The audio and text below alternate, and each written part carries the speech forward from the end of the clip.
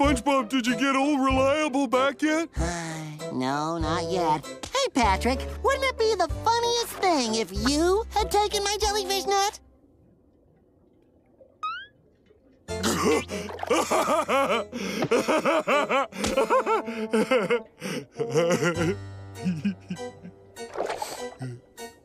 no. Yeah, that would be silly. Oh, that reminds me, I got you a present. A present? What is it? It's a Confessor Bear. He's a special friend you tell all your secrets to. Wow, thanks, SpongeBob. I'll just leave you two alone to get acquainted. My name is Confess-a-Bear. Tell me all your secrets. Uh, I did something recently I'm not proud of.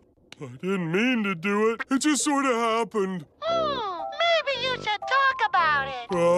it involves my best friend SpongeBob. I don't think he knows what happened, but it would really upset him if he found out. Tell Confess-a-Bear! Oh, I've said too much already. Tell Confess-a-Bear now! No! Oh, I accidentally knocked SpongeBob's toothbrush into the toilet, and then I put it back on the counter without washing it. Confess a bear? Go, go, go! You're mad at me, aren't you, Confess a bear?